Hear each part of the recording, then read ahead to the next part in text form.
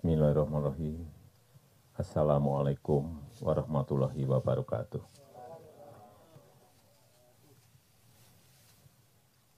Siang hari ini saya berada di Desa Kanigoro, Kabupaten Malang, Provinsi Jawa Timur, untuk melihat yang pertama panen, yang kedua tanam, dan yang ketiga nanti akan melihat penggilingan rice mill unit. Saya bersama dengan Ibu Puan Maharani, Ketua DPR RI, dan juga para menteri, gubernur, dan bupati, untuk memastikan bahwa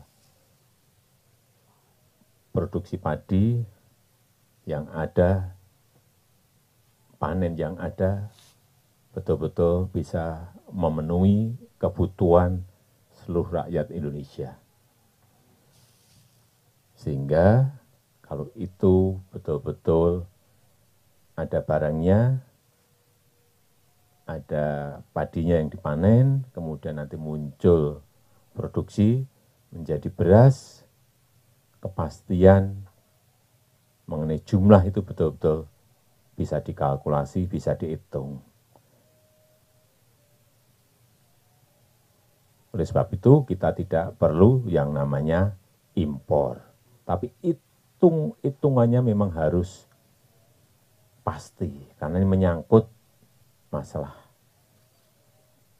perut, masalah makan rakyat itu dari sini.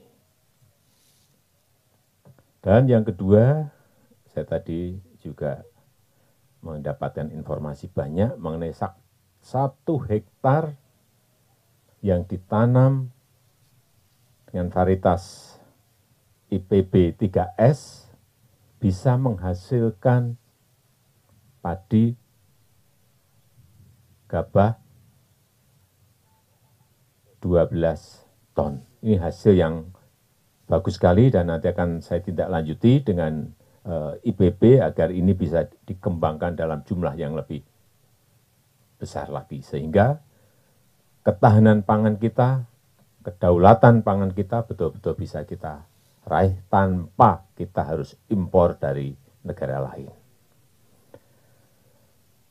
Ada beberapa hal yang juga dibutuhkan oleh uh, petani yang memang ini memerlukan proses yang berkaitan dengan penggunaan eh, alat-alat uh, yang sarana-prasarana yang berkaitan dengan teknologi.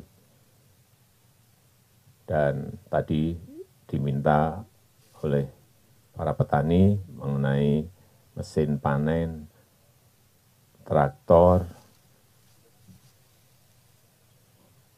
dan hal-hal yang lainnya. Saya kira ini akan tadi saya sampaikan akan kita penuhi memang karena ini dibutuhkan, sangat dibutuhkan sekali oleh para petani di sini. Saya rasa itu yang bisa saya sampaikan pada kesempatan yang ini. Terima kasih. Assalamualaikum warahmatullahi wabarakatuh.